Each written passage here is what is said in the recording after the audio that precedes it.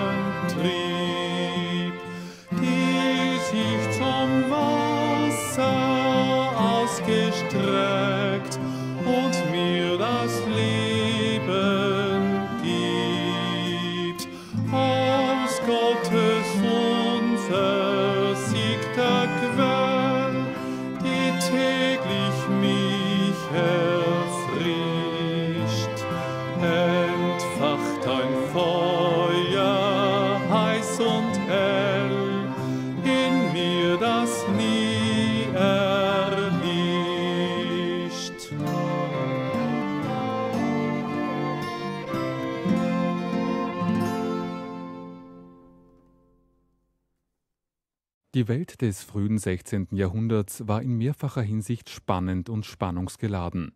Der Frühkapitalismus trieb die Bauern in einen verzweifelten Aufstand, die Türken bedrohten Europa von außen und die Kirche, von der man sich geistliche Orientierung erhoffte, war äußerst reformbedürftig. Unzufriedenheit und Unsicherheit fordern auch uns heraus, denn unsere Fragen sind bestenfalls oberflächlich anders. Eine Welt, die in arm und reich, Freund und Feind, Wahrheit und Irrtum gespalten ist, fordert von uns tiefgreifende und wahrscheinlich sogar radikale Antworten. Die Täufer. Was war das für eine Bewegung? Wer sind die Ahnherren jener seltsam anderen Glaubensgruppen, die in den USA und Kanada in Form der Amish People, Hutterer und Mennoniten überlebt haben, deren Missionare im 20. Jahrhundert den Weg zurückgefunden haben nach Europa, ihrer ursprünglichen Heimat?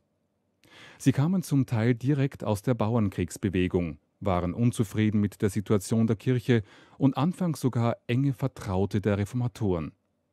Als strikte Pazifisten hatten sie ganz andere Überlegungen zur Türkengefahr. Die Reformatoren Martin Luther und Huldrych Zwingli arbeiteten in enger Verbindung mit den Fürsten und Obrigkeiten. Dieses Zusammenwirken von Glaube und Politik führte jedoch zu Kompromissen und verzerrte so manchen Aspekt der Botschaft Jesu. Luther befürwortete die brutale Niederschlagung der Bauern, der Zürcher Reformator Zwingli starb als Feldkaplan in den Schweizer Reformationskriegen, Johannes Calvin ließ in Genf Andersdenkende verhaften und sogar verbrennen. Zuletzt führte die Vermischung von Glaube und Politik in den Dreißigjährigen Krieg. Die vertrauten Zwinglis, Konrad Grebel und Felix Manz, erkannten in all den Fragen jener Zeit, dass Gerechtigkeit aus der Liebe des Einzelnen kommen muss, aber nicht verordnet werden kann. Weiters, dass die Liebe zur Wahrheit nicht erzwungen werden kann, sondern aus einem freiwilligen Glauben Gott gegenüber erwächst. Hatte Zwingli bereits Bedenken gegenüber der Kindertaufe geäußert, sie aber aufgrund des Vetos der Stadtregierung wieder fallen gelassen, so machten sie genau an dieser Frage ihren Protest fest. Die Taufe sei der Ausdruck einer persönlichen Entscheidung, dem Evangelium von Jesus Christus zu glauben und einen, wie sie sagten, in der Liebe tätigen Glauben erlernen zu wollen. Die Kindertaufe findet in der Bibel keine Grundlage. Christus zwingt niemand zu seiner Herrlichkeit, formulierte Felix Manz. Er wurde unter Zustimmung Zwinglis 1527 zum Tod durch Ertränken verurteilt